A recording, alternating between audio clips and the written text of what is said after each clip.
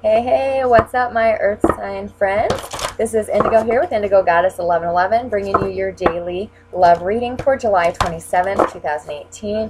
I apologize for the delay in the reading. Uh, we're in retrograde season, and with this solar or lunar eclipse today, my electronics is not wanting to perform for me. So um, I'm hoping to get this out yet tonight, but as we know, energy is fluid anyway, so this goes a couple days before and after. So make sure you still continue to watch. Here we go. Spirit angels, what messages do you have for our earth signs? Virgo, Taurus, Capricorn, in that order, please. All right.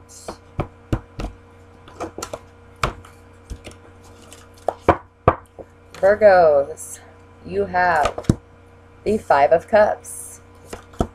Taurus, the Wheel of Fortune in reverse, and Cappies, the Knight of Wands in reverse. Your guys' overall situation is the Five of Swords in reverse, um, being clarified by the Two of Cups. So, Earth signs, um, as a group, as a whole, you guys are leaving uh, a situation that you had emotionally invested into another person. Um, you've given up the fight. You're walking away. Uh, you're realizing nobody's going to win here, and uh, you can't fight any longer.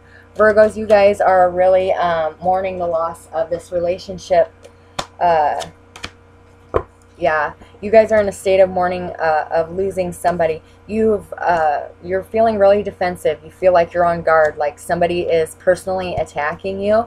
So you're you're getting your own sword out. Um, don't act too hasty. Don't say anything that you can't take back. Is what uh, Spirit's advice for that situation is.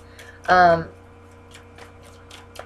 yeah, Taurus, you guys have the Wheel of Fortune in reverse. You guys could be experiencing the downside of karma.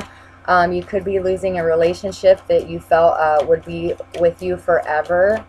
Um, yeah, this person, you're codependent on this person, Taurus, or this person is on you.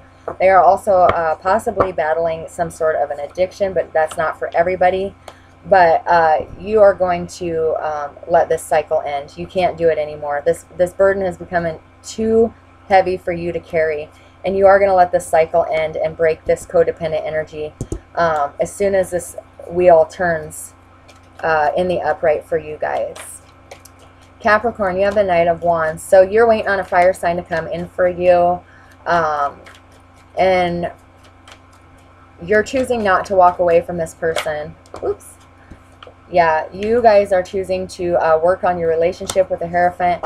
Um, you, even though this person, this relationship has drained you, has put you through the test of time, you are choosing to stay and work on this. You're not going to act flighty. You're not going to move away quickly and um, exit this relationship. You're sticking around to try to work this out. Your guys' angel card for today is to keep an open mind. Your soulmate may differ from your usual type and expectations. And I really feel this is true for Taurus. You guys are holding on to a, a relationship that you felt was your soulmate and it's not you need to keep an open mind because your soulmate is coming in for you, Taurus, when this wheel turns upright. Um, but it's not who you think it's going to be. Virgos, you as well. Um, you guys uh, are having a hard time letting a relationship go that you need to let go in order for your true soulmate to come in. And when they do, it's going to bring you such true love, happiness, and abundance. You're going to wonder why you didn't sooner. Capricorn, um, I do feel that you guys are going to stick around uh, today and work on this relationship. You're not giving up yet. So um, yeah, that's what you guys have going on today. So, uh, as always, God bless and thank you for watching.